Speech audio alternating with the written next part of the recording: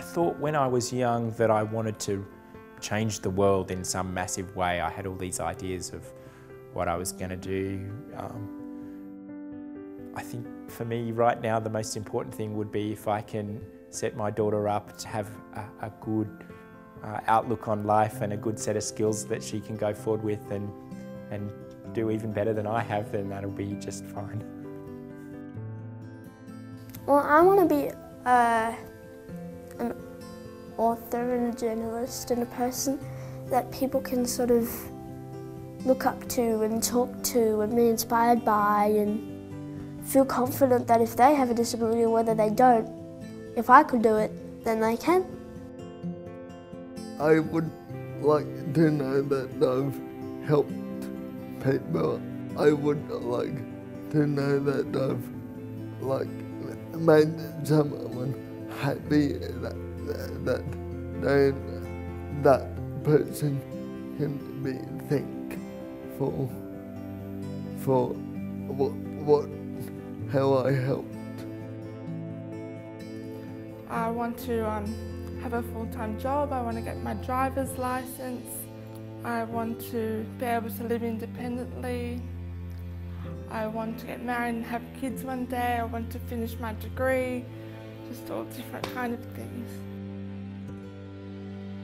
My goal is to become an internationally known photographer.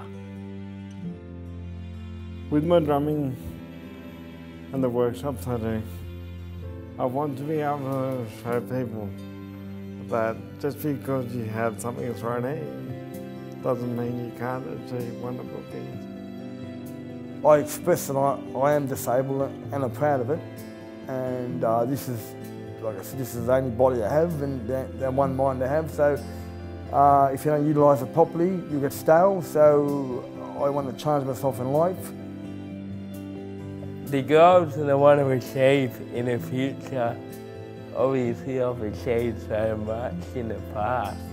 Um, number one is to get better rugby league.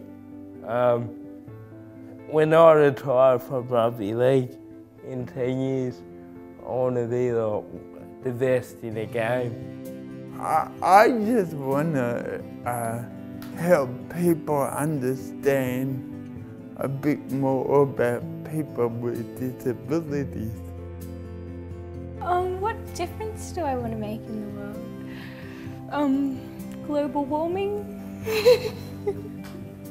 the difference I want to make in the world, I haven't quite figured that out yet. I, I just know that I want to help in some way, but I'm not sure just how yet. I want my a difference by helping to save lives and, and inspire other people to follow in Will, me and Will's journey.